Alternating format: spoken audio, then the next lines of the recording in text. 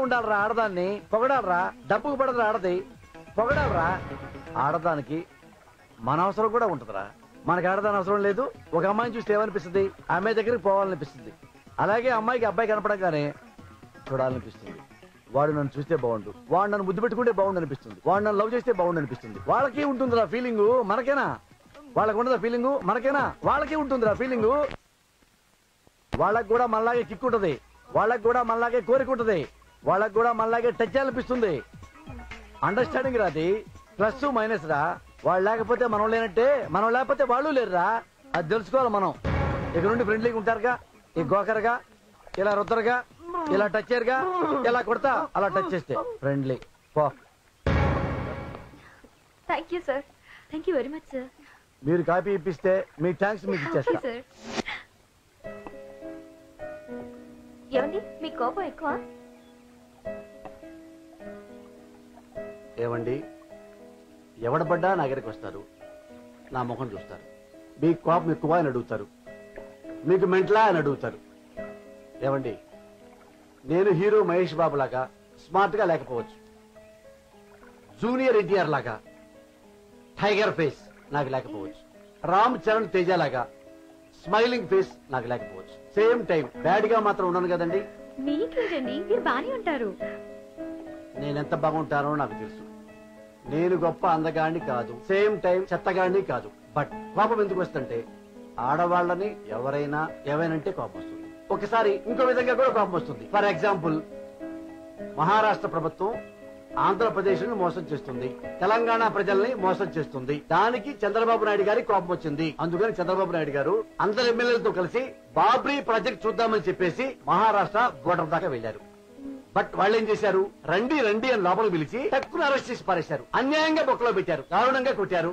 అందుకని రాష్ట్రం మొత్తానికి కోపం వచ్చింది. నాకు కోపం వచ్చింది. నీ కోపం వచ్చిందా. నీ కోపం వచ్చిందా? ఇది అయితే కోపానికి చాలా కారణాలు ఉంటాయి. ఆర్ యూ ఇన్ లవ్ మీరు ప్రేమలో ఉన్నారా? షుడ్ నాట్ మిస్టేక్ మీ ఒక అబ్బాయి వెంటబడుతుంటే చెప్పుతో కొట్టారంటే వేరే అబ్బాయితో లవ్లో పడి ఉండాలా? ఆ లాజిక్తో అడిగా.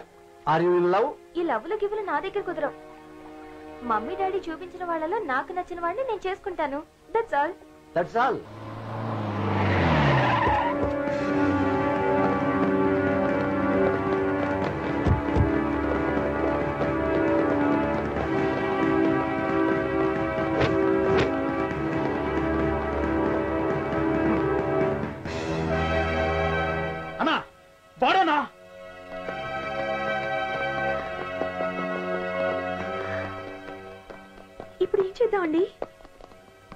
ఒకళ్ళు ఇద్దరు అంటే మేనేజ్ చేయొచ్చు. ఇంతమందిని కొట్టాలంటే చాలా కష్టం. మనం అయిపోతాం. Ready. One two three. Jump చెల్లారి!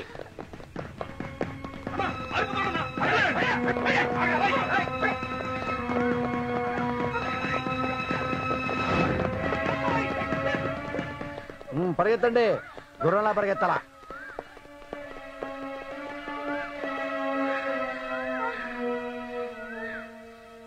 చేద్దాం సార్. ఇద్దరు రౌడీలు మేనేజ్ చేయాలంటే నాగార్జున ఉంటాడు.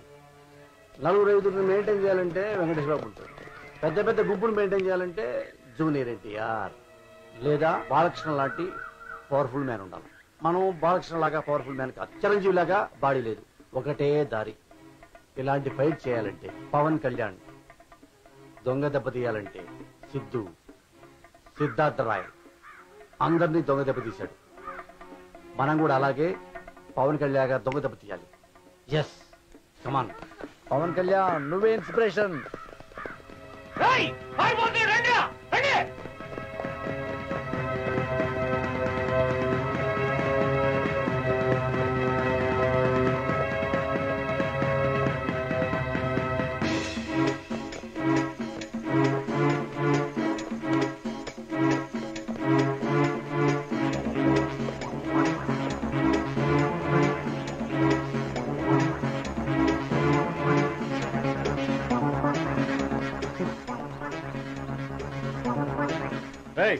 ఇటు ఎవరైనా వెళ్ళారా?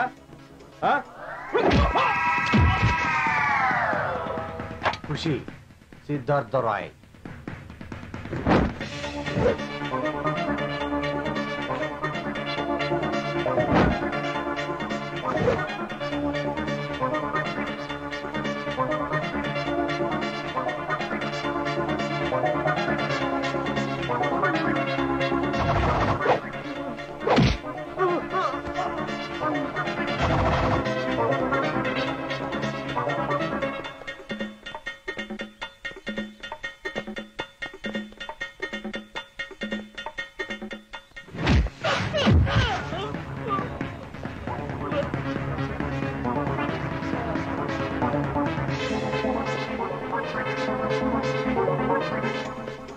ఏమ్మా ఇటెవరన్నా వెళ్తుంటే చూసావా అడిగేది నిన్నే ఇటెవరన్నా వెళ్తుంటే చూసావా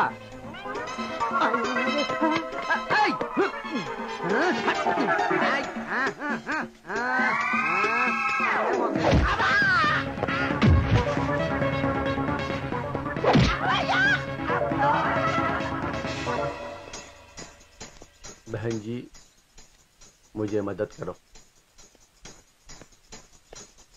बहन जी कोई आए इधर Oh,